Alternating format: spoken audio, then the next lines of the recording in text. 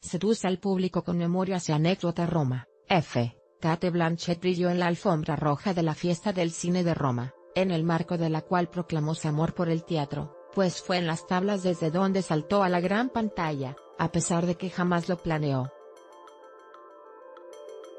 La actriz se encuentra en la capital italiana para presentar La casa con el reloj en la pared, una historia de magia y terror dirigida por Eli Ross, y con la que compite en el certamen, que concluirá el próximo viernes 28. Su paso por la ciudad sirvió para mantener un encuentro con el público, encargado de repartir los premios del encuentro, y que cayó rendido ante sus anécdotas, y los recuerdos de sus más dos décadas de trayectoria en el séptimo arte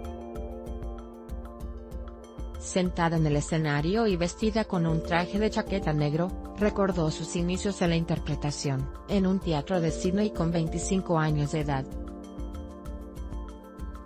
Me decían que debía darme prisa para pasar al cine porque si no me excluirían, porque antes, con 25 años, la carrera de una mujer en el cine ya estaba marcada. Ahora las cosas han cambiado, apuntó motivando un sonoro aplauso de los asistentes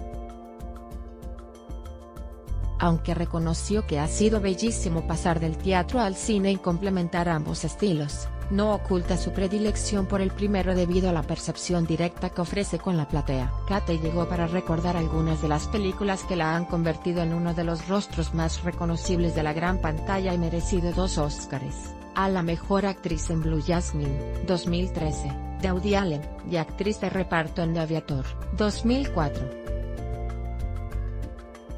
se proyectaron algunos de los títulos que componen su larga trayectoria, como el curioso caso de Benjamin Button, 2008, su representación de un Bob Dylan adolescente en In 2007, y su papel lésbico en Kerol, 2015.